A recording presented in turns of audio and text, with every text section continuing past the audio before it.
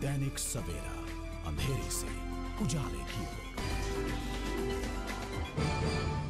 Bharatiya Janata party मंडल दो की तरफ़ से सोडल चौक में बीजेपी सदस्यता अभियान चलाया गया, जिसमें बीजेपी के कार्यकर्ताओं ने लोगों को भाजपा की नीतियों से अवगत करवा, उन्हें भाजपा की सदस्यता दिलवाई। इस मौके पर पार्षद कमलजीत सिंह बेदी, पार्षद भगवंत प्रभाकर ओम प्रकाश सप्पल, संदीप सप्पल, जेबी चड्डा भूषण कोहली, धर्मपाल अरोड़ा सहित कार्यकर्ता भी मौजूद थे। ਅੱਜ 18 ਤਰੀਕ ਨੂੰ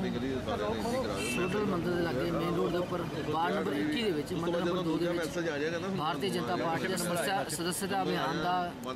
ਕੈਂਪ ਲਗਾਇਆ ਗਿਆ ਸਾਡੇ ਮੰਡਲ ਨੰਬਰ 2 ਦੇ ਵਿੱਚ, ਜਿੱਥੇ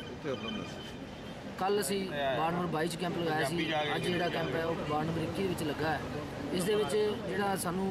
ਅਮਿਤ ਸ਼ਾਹ ਜੀ ਨੇ ਸਾਡੇ ਪ੍ਰਧਾਨ, ਰਾਸ਼ਟਰੀ ਪ੍ਰਧਾਨ ਜੀ ਨੇ ਔਰ ਸ਼੍ਰੀ ਮੋਦੀ ਜੀ ਨੇ ਜੋ ਸਾਨੂੰ ਸਸ਼ਕਤ ਭਾਈਪਾ ਸਸ਼ਕਤ ਭਾਰਤ ਦਾ ਨਾਰਾ ਦਿੱਤਾ ਹੈ ਉਸ ਦੇ ਅੰਤਰਗਤ ਸਦੱਸਾ ਬਣਾਉਣ ਲਈ ਭਾਰਤੀ ਜਨਤਾ ਪਾਰਟੀ ਦੇ ਲੋਕਾਂ ਨੂੰ ਅਸੀਂ ਆਪਣੇ ਨਾਲ ਲਾ ਰਹੇ ਹਾਂ। ਦੋ ਵੱਲੋਂ ਜੋ ਸਦੱਸਿਆ ਅਭਿਆਨ ਚੱਲਿਆ ਪੂਰੇ ਹਿੰਦੁਸਤਾਨ ਦੇ ਵਿੱਚ, ਉਹਦੇ ਤਹਿਤ ਗੋਲਡਨ ਚੌਂਕ ਵਾਰਡ ਨੰਬਰ 21 ਦੇ ਵਿੱਚ ਕੈਂਪ ਲਗਾਇਆ, ਮੰਡਲ ਨੰਬਰ 2 ਵੱਲੋਂ। ਔਰ ਪ੍ਰਧਾਨ ਭਗਵੰਤ ਪ੍ਰਭਾਕਰ ਜੀ ਅਧਿਕਸ਼ਾ ਜੋ ਉਹਨਾਂ ਨਾਲ ਓਮ ਪ੍ਰਕਾਸ਼ ਸੱਪਲ ਮੰਤਰੀ ਜਤਿੰਦਰ ਚੋਪੜਾ ਜੀ ਵਾਈਸ ਪ੍ਰਧਾਨ ਤੇ ਸਾਡੇ ਬਜ਼ੁਰਗ ਲੀਡਰ ਧਰਮਾ ਅਰੋੜਾ ਜੀ, ਅਹ ਸਾਰੇ ਭੂਸ਼ਣ ਜੀ, ਅਸੀਂ ਸਾਰੇ ਇੱਥੇ ਸਵੇਰ ਦੇ ਬੈਠੇ ਆ ਔਰ ਕਰੀਬ 100 150 150 ਦੇ ਆਸ-ਪਾਸ ਮੈਂਬਰ ਬਣ ਚੁੱਕਾ ਹੈ। ਇਹ ਜਿਹੜਾ ਕੈਂਪ ਲਾਇਆ ਹੈ, ਉਹਦੇ ਲਈ ਲੋਕਾਂ 'ਚ ਬੜਾ ਉਤਸ਼ਾਹ ਹੈ ਔਰ ਕਾਰਜਕਰਤਾ 'ਚ ਵੀ ਬੜਾ ਉਤਸ਼ਾਹ ਹੈ। ਸਾਡੇ ਵਿੱਚ